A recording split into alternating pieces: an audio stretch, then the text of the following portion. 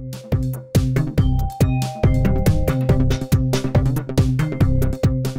Una recepcionista del Hotel Pachamama, ubicado en el centro de Cancún, reportó el hallazgo de un cadáver en las instalaciones del complejo, ubicado en la Supermanzana 22.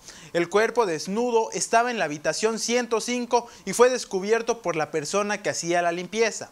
Las autoridades confirmaron el deceso del individuo, quien tenía en la cara cinta adhesiva, además de un trapo alrededor del cuello. Los peritos indicaron que el sujeto fue golpeado en el estómago y piernas.